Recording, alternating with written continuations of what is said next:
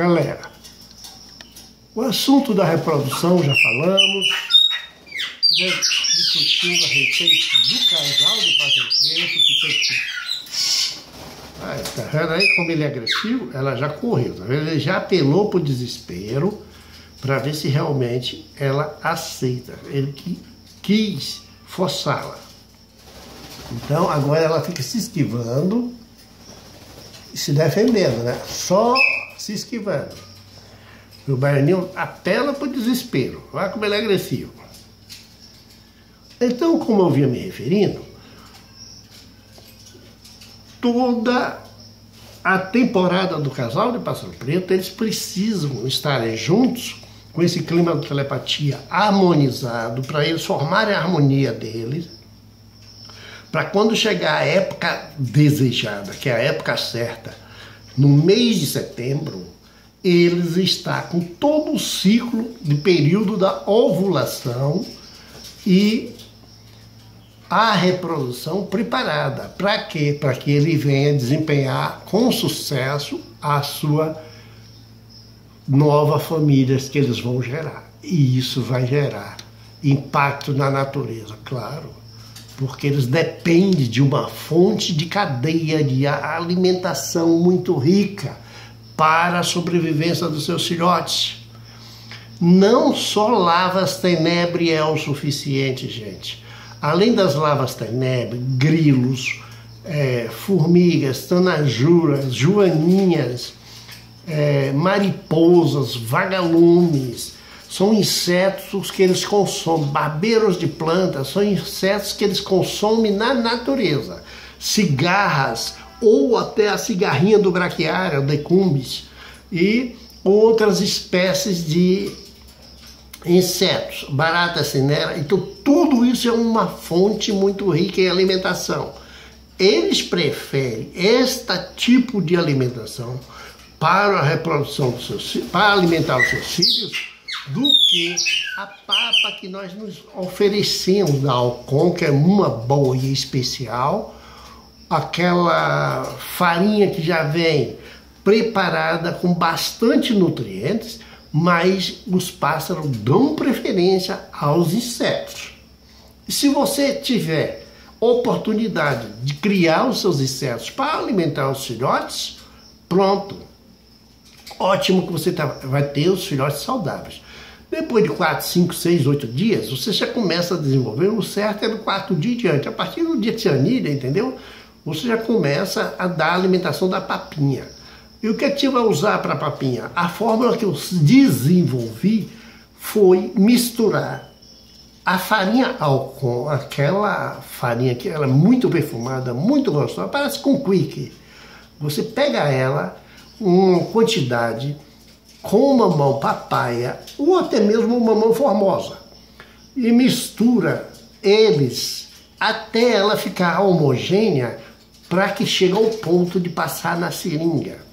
Porque além de você estar acrescentando na alimentação mais proteínas, que não é bem devido, praticamente isso, porque está entrando mamão, mas é uma fonte de alimentação rica que vai ajudar o teu pássaro a reestrutura, vai fazer ele se, sortar, se tornar forte, saudável, com uma alimentação bem balanceada e vai diminuir o procedimento de você usar água. A água é boa, mas água mineral para você fazer esse tipo de alimentação para os filhotes. Ah, mas na natureza ele não encontra. Na natureza ele alimenta com insetos. Pássaro não bebe água enquanto não voa. Depois do 14 dia, o 15 dia, que é o período deles voar depois de nascido, eu já começar a voar na natureza, que os pais carregam, levam o transporte e auxiliam os filhotes ao voo curto até dois, três dias eles já estão com voo longos, ele já desenvolveu a prática e a teoria e já conseguiu, então os pais abastece eles de inseto. E em proteção, porque na natureza ele vai voar de um pé de coqueiro de palmeira para uma ramagem mais baixa. O que, que acontece? Porque ele voa na, na posição decrescente, ele não voa na posição reta. quando ele levanta um voo reto a 10, 5, 6, 10 metros e vai descendo. No que ele desce, vai cair nas ramagens mais baixas. O que, é que vai acontecer? Aos predadores como cobra, gatos do mato, ratos canandongos, sarguês, que são os gambás, e outro tipo de animais que pode agredir e atacar a eles. O que vai fazer? Os pais, como proteção, auxiliam os filhos e chega ao ponto deles auxiliar com voo para subir de galho por galho a uma árvore mais alta. E aí é a autodefesa. Nesse período, o sol está aquecendo, o filhote está sendo alimentado pelos pais, ele está se reestruturando e sua musculatura vai se desenvolvendo. De duas a três horas após aquele tipo de exercício, ele já está com estrutura de dar um voo mais longo e mais alto.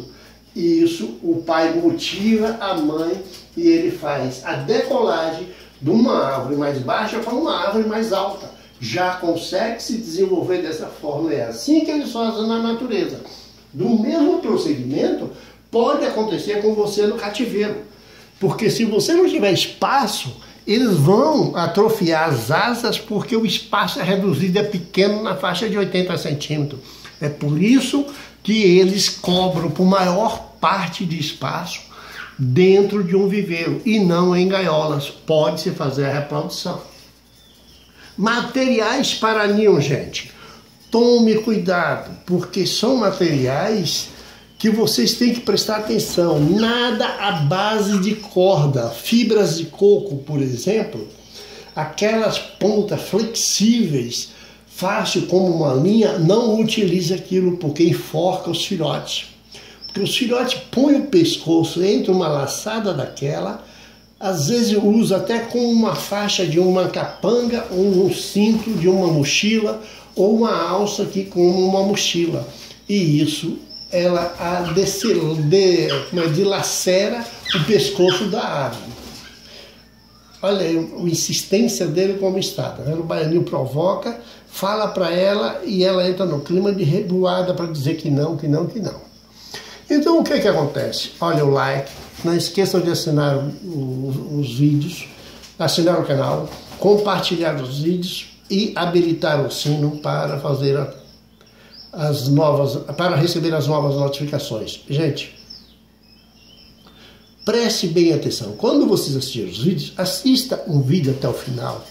Você não assistiu ele todo naquele momento, achou que você já pegou essa ideia, eu já comentei este assunto em um outro vídeo passado, as informações continuam sendo modificadas. Cada dia a gente forma uma frase diferente, uma maneira de se palavrear da fórmula mais correta, ou com a comparação de outros itens, ou de outras aves, ou de outros assuntos que venha relacionado à fauna e à flora animal, entendeu? E isso tem grandes diferenças nessas informações, gente.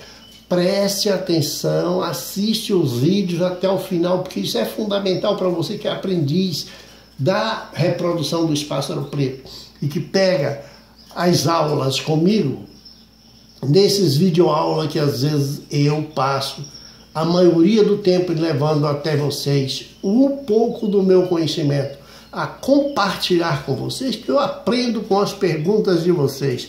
Eu procuro desenvolver a técnica, estudar o animal, buscar a resposta para ver se realmente vai satisfazer o concretização dos seus objetivos na espécie do pássaro, galera. Pelo amor de Deus, prestem atenção, porque tem muita gente que às vezes me faz perguntas a respeito da reprodução, da alimentação, a quantidade de lavas e tal. Estou para responder no que for possível. Respondo no vídeo e respondo também no WhatsApp, entendeu?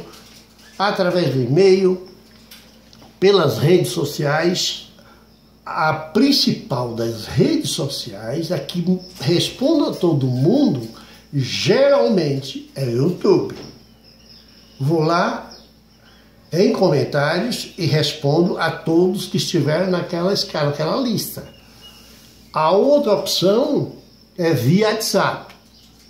São as duas melhores fórmulas de que gosto de responder a vocês. Mas no Facebook, Instagram, eu só faço postar. Twitter, eu só faço postar. Pouco tempo de comentários lá. Porque não dá tempo comentar tudo isso em todas as redes sociais, cara. É muita coisa. É... Então, as respostas, eu faço uma germinação do conteúdo para que dou uma resposta que venha servir para quatro, cinco perguntas, para poder ser relacionada à ocupação do espaço do público. Então, por isso, eu desenvolvo esse tipo de técnica e dou prioridade ao YouTube para eu responder a todos vocês. Para que os vídeos não se tornem muito grandes, eu vou finalizar a nossa palestra. Um abraço no coração de todos vocês. Ficam com Deus. Olha o like, compartilhar os vídeos, assinar o canal e habilitar o sino. Um beijo no coração. Fica com Deus.